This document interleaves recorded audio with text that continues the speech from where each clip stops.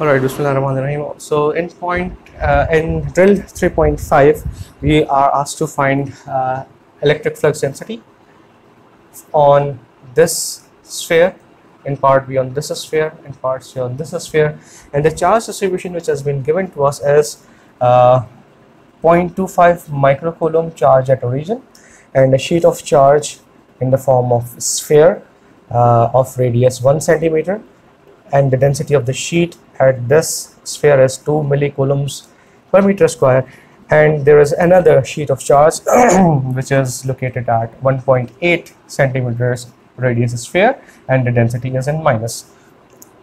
So this uh, problem uh, should not be difficult again if you have grasped the concepts.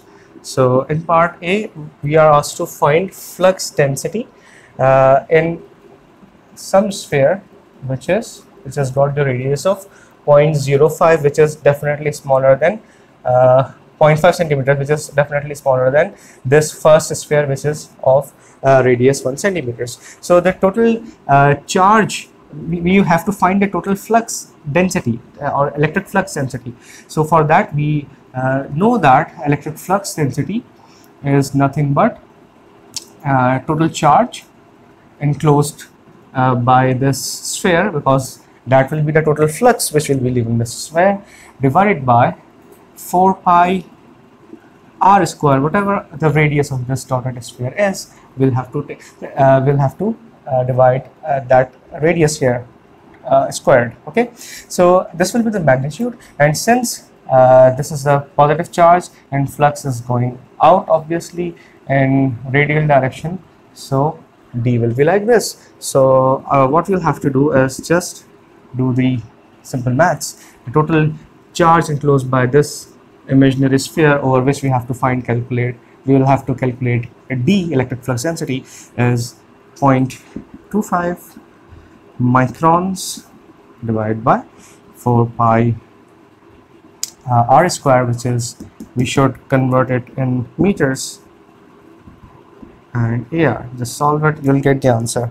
Part b. In part b how much flux density is available as available at this second dotted sphere whose radius is 1.5 centimeters definitely greater than the inner sphere. Uh, so now we should not draw this one because it will confuse us now. Its problem has been solved. So let's discuss this dotted sphere now. So the total charge enclosed by this dotted sphere should be calculated. The total charge enclosed by this dotted sphere will be equal to the total flux leaving this sphere. Once we know the total flux, we'll divide that flux by the area of this sphere. Okay, so the total charge enclosed by total charge enclosed by this dotted sphere will be equals to 0.25 microcoulombs plus the charge on this sphere. The charge on this sphere uh, can be known because can be can be calculated because we know that the uh, area of this sphere is uh, how much? The area is 4 pi r square. So 4 pi r is nothing but 0.01 squared this is the area. If you multiply it by rho s so th uh, that will be 2 exponent minus 3 so this is the charge on the inner sphere. Uh, once we calculate this we will be able to find the q total okay?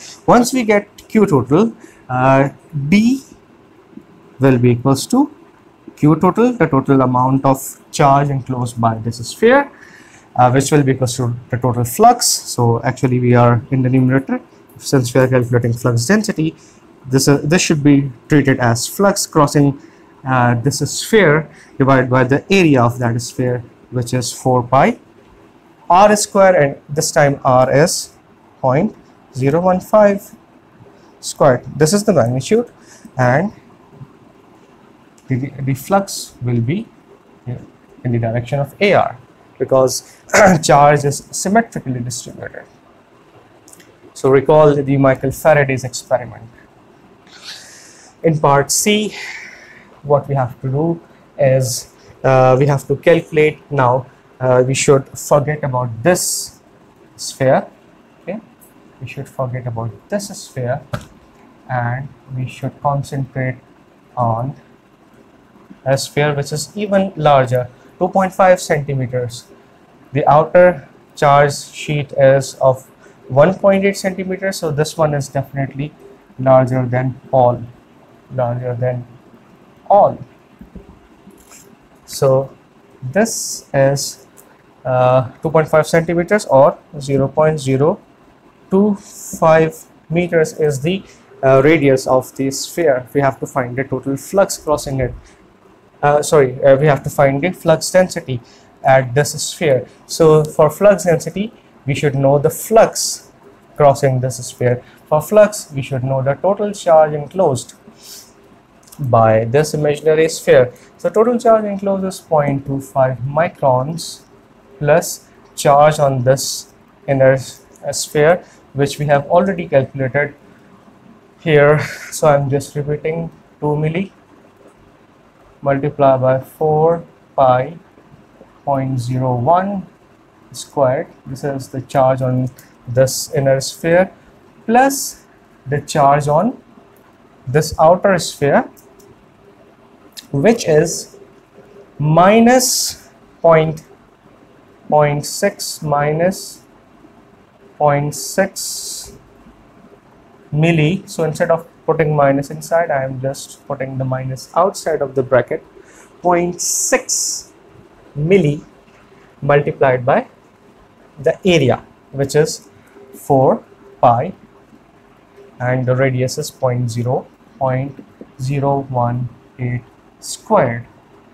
So calculate this and you will get q total. So to get electric flux density just take this q total divided by 4 pi 4 pi not epsilon naught because we are calculating electric flux density and the radius of this sphere which is 0.025 squared. This is the the uh, uh, magnitude of flux density multiplied by AR because again the flux is symmetrically distributed. So uh, I would like to calculate it for the final part. Uh, 0.25 plus 2 milli okay? Let me calculate it. Okay so the for part C, the total charge enclosed by this imaginary sphere is 320.4 uh, nanocoulombs with a positive sign. Okay, so you can just replace this value here and do the maths. And if I do the maths quickly for you, I'll get 40.8 which is the correct answer micron 40.8 40.8 AR microcoulombs per meter square. So always write your units uh, with the uh, answer. And in part D what we are asked to do let me quote it for you. What uniform surface charge density should be established at r equals 3 to cause electric flux density D to be 0 at R equals 3.5. So now forget about this as well. So now it says that uh, what field, what uh, what uniform surface charge density in part E will have to calculate what sheet of charges should be established at uh, r equals 3 centimeters which is equals to 0.03 meters. So it's better to convert the units in SI system immediately then and there. What uh, rho s should be established here and the radius is 3 centimeters so that if we would calculate flux on this sphere of radius radius uh,